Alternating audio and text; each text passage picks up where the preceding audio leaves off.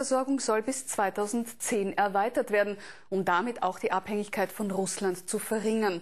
Ein Zufall, dass die Gaskrise in ein Jubiläumsjahr fällt, denn genau vor 40 Jahren ist in Machfeld das erste große Gasfeld gefunden worden. Nachdem schon in den 30er Jahren von der damals russischen SMV im Machfeld Öl gefunden worden ist, hat der Nachfolger OMV im Jahr 1969 hier erstmals ein reines Gasfeld zu fördern begonnen. Gas war bis dahin nur ein Nebenprodukt der Ölförderung gewesen. Das Feld in Schönkirchen wird heute noch genützt, und zwar als Lager für die Gasvorräte, die in jüngster Zeit eine so wichtige Rolle gespielt haben.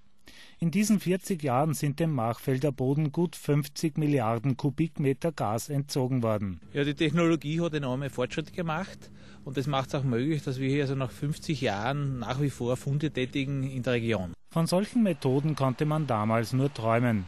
Diese Spezialfahrzeuge mit Seismographen ausgerüstet rütteln den Boden, dabei wird eine Art Computertomographie des Bodens bis in tausende Meter Tiefe angewandt, womit neue Vorkommen gefunden werden können. Das ist das Wiener Becken, ist eine geologische Formation und die ist sehr häufig in, in, in Kohlenwasserstoffen. Aber Seen sind es nicht, also, also man muss von dem Bild wegkommen, dass das irgendwelche Hohlräume sind. Das ist poröses Gestein und in, in dem porösen Gestein ist, sind die Kohlenwasserstoffe gelagert. Hier in Straßhof wird eben der Bohrturm abgebaut. Wo sich vor wenigen Wochen noch ein 20 cm dicker Bohrer vier Kilometer tief in den Boden gefressen hat, steht jetzt eine sogenannte Sonde, an die die Gasleitungen angeschlossen werden. So unspektakulär sieht eine solche Sonde aus, wenn sie das Gas liefert, das mit 300 bis 500 Bar Druck aus dem Boden steigt. 120 solcher Sonden gibt es im Machfeld, das einen Meter unter der Erde von einem Netz von Gasleitungen durchzogen ist.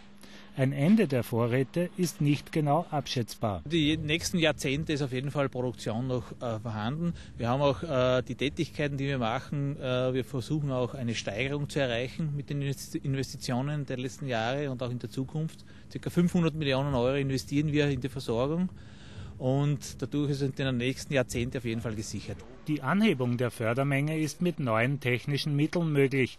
Die OMV hat sich für 2010 eine Steigerung um 20 Prozent zum Ziel gesetzt. Der Vorrat an Rohstoffen sollte vorhanden sein. Für weitere 40 Jahre.